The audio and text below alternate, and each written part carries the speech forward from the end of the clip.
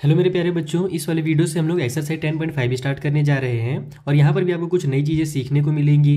तो जिस भी क्वेश्चन में हमारे पास जो नया थ्योरम यूज़ होगा ना, वो वहाँ पर मैं आपको एक्सप्लेन कर दूँगा। जैसे जो हमारा क्वेश्चन नंबर वन है, इसमें आपको जो थ्योरम नंबर 10.8 दिया हुआ है आपके बुक में, वो यूज़ होने वाला है। अब वो क्या है, उसका यूज़ कैसे करना है, हम लोग क्वेश्चन सॉल्व करते समय देखेंगे, पहले हम लोग क्वेश्चन को समझ लेते हैं। बाकी जो मैं आगे की वीडियोज़ बनाऊँगा, उनका लिंक और साथ ही साथ अगर आपको कोई डाउट रह जाता है तो उसके लिए इंस्टाग्राम और टेलीग्राम का लिंक भी मैं आपको नीचे डिस्क्रिप्शन बॉक्स में प्रोवाइड करा दूँगा। चलिए स्टार्ट करते हैं। यहाँ पर बोल रहे हैं कि जो फिगर बना हुआ है टेन पॉइंट थ्री सिक्स इसमें ए बी सी जो है वो थ्री पॉइंट है एक सर्कल पर। देखो ए बी सी एक पॉइंट तीन पॉइंट दिख रहे हैं आपको इस सर्कल पर। अब इसका सर्कल का जो सेंटर है वो ओ है और जो हमारा एंगल बन रहा है बी ओ सी वो थर्टी डिग्री का बन रहा है यहाँ पर और जो ए ओ बी बन रहा है वो सिक्सटी डिग्री का बन रहा है। अब अगर डी जो है एक पॉइंट है सर्कल का other than the arc A B C यानी ए बी सी एक ये देखो हमारा आर्क है। आर्क समझते हो ना? कोई भी दो पॉइंट जैसे ए से लेकर के सी के बीच का, किसी भी सर्कल में जो पार्ट होता है ना, इसको हम लोग आर्क कहते हैं। तो इधर हमारा ए सी एक आर्क हो जाएगा और इधर से भी हमारा दूसरे साइड जो है, इतना लंबा ए सी जो है, इतना एक आर्क हो जाएगा। माइनर आर्क मेजर आर्क ये सब मैंने आपको पहले ही समझा रखा है। ओके तो हमसे ये बोल रहा है कि ए बी सी के अपोजिट साइड में फिर दूसरे साइड में हमारे पास एक पॉइंट डी भी है, ठीक है? और अपने को क्या करना है? उस डी में जो एंगल बन रहा है ए डी सी उसको ही अपने को फाइंड करना है। यानी कि यहाँ पर जो एंगल बन रहा है ना, ये फाइंड करना है। तो ये बहुत ही सिंपल अगर आपको थियरम पता रहेगा तो ये आप तुरंत फाइंड कर लोगे। ये समझाता हूँ वो थियरम क्या है। तो देखो, यहाँ पर ये थ्योरम मैंने लिख भी दिया है और आपको भी अगर ये एग्ज़ाम में क्वेश्चन आता है ना तो थ्योरम वहाँ पर बताना पड़ेगा कि एक्चुअल में हमने जो भी रूल यहाँ पर यूज़ किया है अप्लाई किया है, वो कहाँ से आया। है तो इस टाइप से यहाँ पर थ्योरम का नंबर याद करना ज़रूरी नहीं है, बस थ्योरम याद कर लो कि angle subtended by an arc at the centre is double the angle subtended by it at any point on the remaining part of the circle अब इसका मतलब क्या हुआ? मैं समझाता हूँ।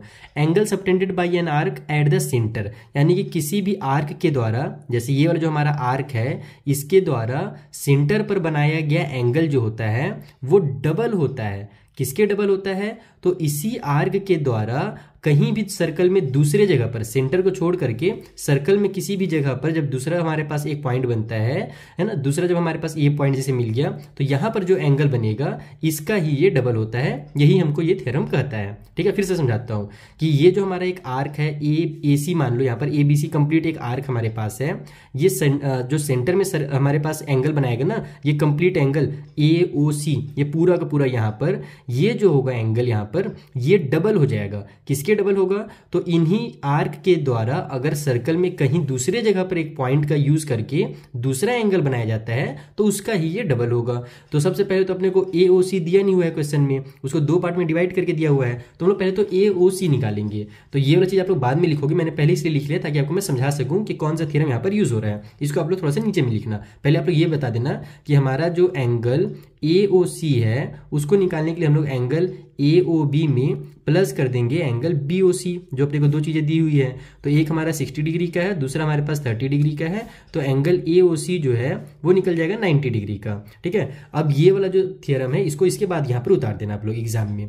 देन आप लोग लिखना कि जब ये हमारा डबल होता है, इसका मतलब क्या हुआ कि अगर अपने को सॉरी ए ओ सी निकालना है ए ओ सी अगर निकालना है तो हमें क्या करना पड़ेगा? ये वाला आर का डबल करना पड़ेगा। यानी सॉरी ये वाला एंगल का। तो इस वाले एंगल का नाम क्या है? एंगल ए डी सी नाम है इस वाले एंगल का। तो इसका डबल कर दो। डबल करने क्या करते हैं? टू से मल्टीप्लाई कर देते हैं। बस। यानी ए ओ सी जो होगा, वो डबल हो जाएगा ए डी सी के।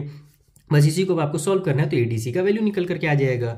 तो यहाँ पर एओसी की जगह पर 90 डिग्री रख लो, जो आपने यहाँ पर फाइंड किया है इक्वल की उस साइड में टू एंगल एडीसी हो गया। अब इस टू को इधर ट्रांसफ़र करो तो 90 डिवाइड बाई टू हो जाएगा, क्योंकि इधर चिपका हुआ था तो मल्टीप्लाई में था।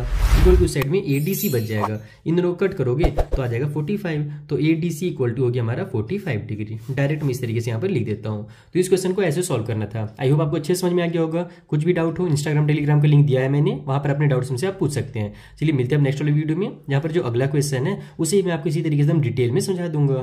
Thank you for watching